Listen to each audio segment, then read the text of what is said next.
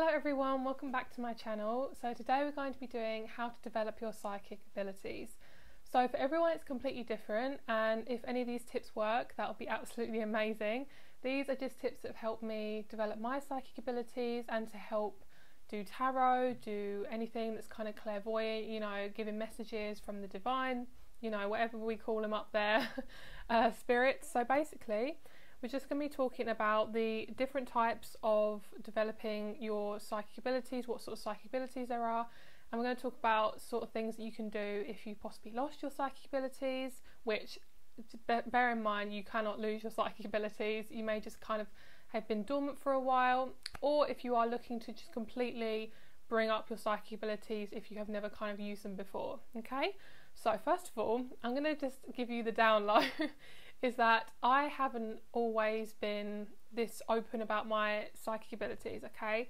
I have been psychic my whole life, but it was never really called psychic abilities. For me, I always thought it was basically I'm an empath, which means I'm very empathic for people's emotions, so I can basically feel someone's emotions without physically having them myself. Let's say someone was having a depressive state and they were feeling very sad, they were feeling very uncomfortable, and I had never been through depression. Um, I have been through that, but let's say I haven't.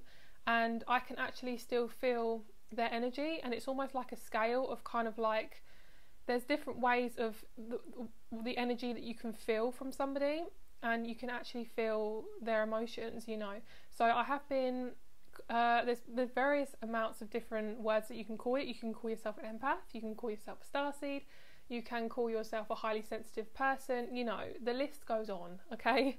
So you can basically call yourself whatever you want to call yourself, whatever kind of suits you. If you don't know what you are, you can always Google it, you can always kind of see what sort of person you are. For me, I actually discovered the word highly sensitive person from YouTube. There was this video that did 10 different ways that show you're a highly sensitive person or something like that. I'll link it down below. It's very, very helpful and pretty much all of them resonated with me. It's like you have to exercise on your own, you don't like exercising with other people, you like your own space, you are very sensitive to other people's energies, so being out in public can be very, very overwhelming sometimes. So that is why, okay? So being a highly sensitive person, if you clicked on this video, most likely you are a highly sensitive person or an empath or both because people who want to develop their psychic abilities are the ones who are the most sensitive. They can feel other people's feelings, they can sense other people's energies. And I'm not saying that every single time you meet someone it's going to be like, okay, I'm going to be like your best friend forever, or you're going to be my boyfriend, or sometimes it can be a bit confusing because sometimes people's energies don't actually match up with their human body and how they're actually interacting. I have had this personally in my life where I have basically thought that somebody is going to be a really good person in my life and they turn out to be a really horrible person. Okay, so basically, it can be quite confusing, especially when you are highly sensitive from a very young age because you think that that's, I mean, obviously, it is normal. But you think other people can sense it as well. You, you think other people are highly sensitive as well, and you're like, oh, okay, I'll just be myself. But some people just really don't vibe with that energy. Some people are very um, asleep. Some people, I call them muggles. I don't mean to be mean when I say that, but I just find it very funny because I call them muggles because it's almost like a very easy way of distincting people who are woke and who aren't awoke. So, let's get started. Um, I actually don't know where this video is going, so I hope it actually has some sort of relevance to you and it helps you. So, the different uh, types of kind of clairvoyancy um, the different clairs. There are six different ones. I actually realised this only a few months ago that there's six. I didn't know there was this many. I think there's five, five or six. There's quite a few. The first one is clairvoyance, which is seeing. Most people have this. You see in pictures. You see in I see in metaphors, pictures. Um, I get a type of energy like a vibe. Um, that's people can see clairvoyance as different ways. Sometimes people see it as like seeing physical things in the middle of like their face, like actually in front of them. But for me, I see it in my mind, almost like imagination. It's like if I was to say, imagine an elephant, and now you've got an elephant in your mind. So that's basically how it works. Is there is an image in your mind, and it's basically it feels like imagination, but it isn't. It is literally your clairvoyance coming through. So the next one is clairaudience, which is clear hearing. You can hear voices. People some sometimes people hear um, I don't know, sometimes I hear like a train going, um, a kettle whistling, that sort of thing. It's normally noises that you actually know and you already know the sound of. You especially know if it's clairaudient because it's actually a sound that you have no idea what it is, and you're like, I'm confused. So it can be things you already know the sound of. It can be things that you don't know the sound of. It can be someone talking like a ancestor talking to you. You know, but if you don't have all of these, don't don't be hard on yourself. Okay. Some people have some of these. Some people have all of them. You know, it depends, okay? So then we have clairsentient, which is clear feeling. This is one of my faves because I love feeling into energies. I love feeling, it's almost like you get like a warm sense. It's, it's basically like different emotional levels. So to say if you were going to um, tune into somebody and you want to know, say, if they have been through um, emotional trauma or have they been through something that's quite deep, if you pick up on something that's quite heavy and almost feels possibly like a blanket's coming over you, or you feel it's like you feel very constricted, that can be certain levels of that feeling. So constricted could feel like you feel claustrophobic, or having like feeling like you got a blanket over your head feels like you feel compressed, so you feel quite depressed or sad, anxious. You know, there's various different ways. Whatever is good for you, that's what you're going to feel. Maybe my examples aren't resonating with you, and that's totally fine. It's whatever is resonating with you is what's going to be the most best for you, okay? So basically, just feeling into what you feel is most accurate. So the next one is claircognizance, which is clear knowing. Okay, so this is basically all about that you knowing something to be true, you know something's going to happen. I do feel like I'm more of the other ones I have just said. Um, also the clairalience, which is clear smelling. So there is various different ones. I do feel like I'm pretty much all of them. My main one that I have is mainly uh, clairvoyance and clairsentience. It's clear feeling and clear seeing because I just kind of get a massive sense of emotions. I'm also a water sign like triple. I have uh, Scorpio, Sun, Cancer, Moon, and I'm also Scorpio, Mercury. I do also have, I think, a couple of other water signs in my chart. So if you are a water sign, then this is also going to help you to develop your psychic abilities. Water signs are naturally uh, are naturally psychics. They are naturally very, very highly sensitive. Obviously, if you don't have a lot of water in your chart or anything like that, don't worry. It's just mainly it does help when when it comes to actually feeling into things. Okay. The first thing I want to tell you guys to develop your psychic abilities is to meditate. Okay. Meditation is a variety of things, okay? You do whatever you feel is necessary. For me, I had a very short attention span. I thought, nope, don't med- I don't want to meditate, don't make me meditate. My mum is a very good meditator. She's meditated for many, many, many, many, many years. And she's always like, oh, maybe you should meditate. And I'm like, ew, no, go away, being my stubborn Scorpio self, being my fixed sign self. But basically, the best way for you to do it is to figure out a meditation that will really suit you. First of all, I started with a candle and I sat cross legged on my floor. Best way I think is to sit on the floor because you're more grounded. Obviously, you do what's best for you. I sat on the floor cross legged and I had a candle in front of me and I just played some music for one minute and that's it. And then I started on one minute and then I went up to five minutes and sometimes I do 10 minutes. But five minutes to 10 minutes is actually all I need because I have a very concentrated brain. um, so if I can, I can suck up energy very, very quickly. So for meditating, I can only, I could only do like 10 minutes of meditation. I can do 20 minutes, but for me, what's best is five to 10 minutes. So that might be best for you. You do whatever is best for you, but meditation is going to really help you. Okay, guys. I've always been, as I say, highly sensitive. I'm, I do feel like I'm generally psychic. I've never really lost it. For anything, it's advanced because I've been through so many different stages in my life. I've been through different traumas, things like that, and also it's it's basically what's going meditation is going to help you to is you have basically I feel like two levels. You have like the um, messy kind of let's say there's clouds okay?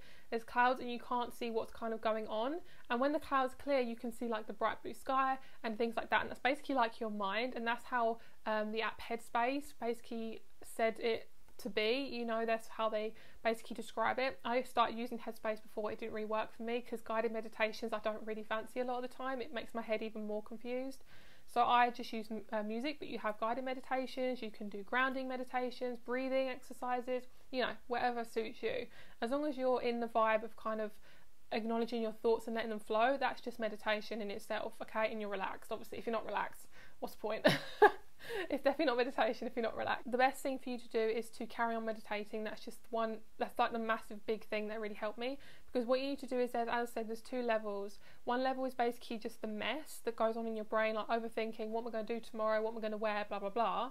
And then you've got to kind of lift up out of that and you've got to separate those, like the monkey mind almost, the human mind to the spiritual part of you, okay? So we all have these psychic abilities, all of us, because we're all spiritual beings in a human body, you know.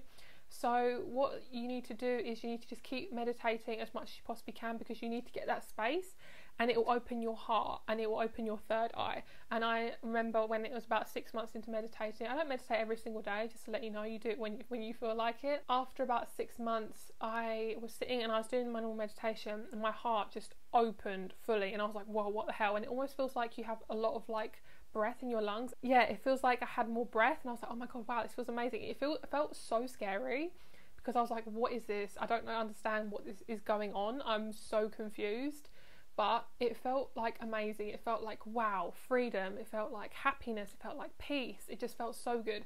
And that's when I thought, okay, now I'm ready to start doing more kind of spiritual things. I feel like whether that's like incensing myself or you know buying crystals. You know, I've always bought crystals and things like that, but I've never was fully down for doing that just because I didn't have the space for it. I was at school, I was at university, I didn't have time, I didn't have the headspace, you know, I wasn't fully myself. The second one is to practice tarot and to use crystals. You can do this at the same time or separately. When I first bought my tarot deck, um, I bought the Rider Waite Tarot. I didn't really like this deck at first because I thought, oh, it's a bit boring, but actually, it's so good, okay? Because it has the original artwork of the original tarot. I'm pretty sure this is the original tarot, and people use it on YouTube. A lot of tarot readers use it, and it will help you to understand what each card means. And then once you know what each card means, I really do feel like it's up to your interpretation as to how you want to bring it across. Obviously, you don't have to go by the actual strong meanings. I just got a massive ringing in my ear. Thank you very much. um, just let you know, if you get a ringing in your ear, it means that your uh, ancestors are with you. So I just got a ringing in my ear. So someone's around here right now because I'm picking up my tarot deck. They're like, oh, messages. um, so basically, you can get different versions of tarot. You don't have to get the Rider Waite tarot deck, but for me personally, I like because of my Virgo rising self, I like things to be in nice little ordered boxes. So if I knew exactly what every single card meant, I'm like, okay, now I know what it means. Now I can have my own interpretation on it. You don't actually have to go off of exactly what the tarot means. That's not like obviously what it's for. Say like you get the, the sun card and it means obviously happiness, it means expansion, it means something good coming you can see this as a death card you know it just depends. It's what whatever you feel like is best for you. Obviously i read tarot as it is but it's completely up to you. That's the amazing thing about doing this stuff is you can you can do your own thing with it. Also with crystals i highly highly highly recommend getting yourself some selenite or I will leave a little list of crystals down below for that are really really good for developing your psychic abilities because selenite is so so good at connecting with ancestors, connecting with the spirit realm. It will really really help you. I always have this in my readings. If you have watched any of my picker cards, you'll see that this guy is in my picker cards. And also to have something that is definitely like a raw crystal, okay? Rose quartz is also very good because it helps you to open your heart and therefore it will help you to see clearer as well. Because if you have a blocked heart, you've gone through trauma, breakups, things like that, it is going to be harder for you to open your psychic abilities because you're so closed off that you won't allow any sort of new energies to come through. And obviously, don't be hard on yourself if you've gone through a lot of trauma. You know, sometimes it it comes through more when you've worked on that, when you've done possibly therapy or when you've done journaling. Sometimes it just takes time, guys. So don't be too hard on yourself if things don't happen the exact way you want it in terms of your psychic abilities. And there's no rush, basically. Okay. As I said, I have always been intuitive. I just definitely think it's because I'm a water sign. It definitely helps. Um, but I definitely think that's just my soul's purpose is just to be highly, highly sensitive, which was annoying because no one ever really accepted me for who I was. and I was like, okay, why am I so weird and different? But you know, now we're here on my Crystal Girl channel talking about psychic abilities. Okay, so the next thing to do is to work by yourself and to also get yourself some space. Um, cut out negative people who don't serve you. Um, to basically what you what you're doing is you're clearing clearing your space around you so you can think. Okay, you don't want annoying family members around you. You don't want um, toxic people. Obviously, if you can't help it, you just need to make sure you're getting your own space, which is meditating, going for a walk in nature. You know, get that space by yourself so you can actually hear your thoughts because you want to actually get into your mind and and look at those thoughts and think okay what's actually going on? Let me release those. Instead of distraction distraction distraction you know distraction is going to cause your psychic abilities to almost be pushed under the rug because it's not actually letting yourself be free and flowing okay? So what's also really good as i said is to feel into things feel into your emotions feel into um, possibly other people. You can also practice on animals. Uh, for me i felt it was really helpful to i mean my main one is to practice tarot and meditation. Those two are like the main ones that really really develop my psychic abilities. Um, the another one i have heard is to possibly like link in with animals. If you have a pet then try to kind of figure out what sort of their feelings anything like that. It is harder to do it with your own pets, your own family members, yourself. It is harder because you have your ego in the way. You obviously know what they're like naturally, you know how they work, you know their personality, you know, things like that. So I would highly, highly recommend if you do want to practice tarot to actually um, do readings for other people who you don't really know and that would help you. I, for, I first of all started doing readings for family and friends. I, and that's basically how I started and that's and if it resonated with them then I know that that would be right okay guys? So also don't be too hard on yourself if you like don't be too hard on yourself when you do readings okay? If you're not going to do readings this won't resonate resonate for you so don't worry about it. But if you do want to do readings or you do just want to do tarot and when you want to possibly help people things like that don't be too hard on yourself if things don't resonate and don't be too kind of focused on the overall message. So basically if you feel like a message is coming in, you're thinking it's not going to resonate, it's not going to resonate, it's not going to resonate, don't worry about it. Just tell the person what it is. Obviously don't be too mean about it, like you suck, I don't know. Um, basically that was one of my things is I thought this isn't going to resonate, this isn't going to make any sense. And then when it did, I was like, okay, this is another level, you know? So it's just amazing. So the last thing I want to tell you guys is to eat good food. Um, to avoid fast food, avoid alcohol, avoid smoking, avoid drugs, that sort of thing. Obviously, I'm not talking about medical drugs like antibiotics and stuff, um, or your drugs that you need on the daily, that's totally fine. I'm talking about things that you, you don't really need to have like on a health basis, you know? Um, if things like alcohol, if you can reduce that, that would really help for me I can actually do readings when I have had like a glass of wine or something you know and I can do it if I've had like McDonald's or something like that. But as I say I'm just naturally like psychic I'm naturally sensitive which is actually annoying guys okay? Let me just sometimes it's very annoying which is why I wear my hematite all the time. Hematite is also very good for making you grounded. That's what I was going to say as well. Crystals selenite rose quartz like a raw crystal is very very good. And also um, when you are channeling it's very good to keep grounded. You don't want to get too far into the energies because sometimes you can just float off and just oh this this feels nice. I'm not going to come home you know? Um, obviously don't need to, i don't want to scare you guys. It's not going to happen. You're not going to actually float off. But sometimes it's almost like when you start daydreaming and you're just kind of in that moment and it takes you a while to just come back and you're like oh okay. Um, it's that sort of thing. So what i'd really recommend is getting hematite um, is getting possibly jet uh, tourmaline, black onyx, anything like that would really kind of bring you into your body. Um, I actually have trouble with this. This it's overthinking is just a very big thing for me. So I always wear my hematite. Very, very good, especially in public spaces as well. It helps you to stay grounded.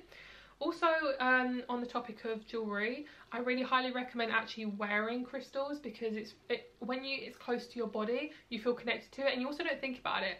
Um, sometimes I highly, highly recommend this because I know a lot of people carry crystals around with them and sometimes they can get lost, sometimes they can fall off, sometimes you, you'll never find them again, you know, things like that. So I always wear things that are very convenient for me. Obviously you do what's best for you, but I also highly recommend wearing like selenite around your neck. This is like a, a selenite necklace and I basically put it around my neck and it kind of sits like here and it's, it just feels really good sometimes if I'm feeling like I can't really if I feel like I can't really connect with um, spirits or I'm feeling a little bit blocked, this is also really, really good. Clear quartz, any white crystals very good for um, connecting with spirit. So you get white crystals and light crystals that are very good for connecting with spirit and black crystals that are very good with keeping you grounded, okay? So obviously all the white crystals are up here, and all the black crystals are down in the earth, okay? So basically that's how you connect with those two different parts of you. Okay, so that is the video. I really hope you guys enjoyed it. If you did, please let me know in the comments. I have been wanting to do a video like this for a very long time. I've also been kind of scared about doing it, but I hope it really resonates with you guys. I love you so much, and I'll speak to you very soon. Much love. Bye.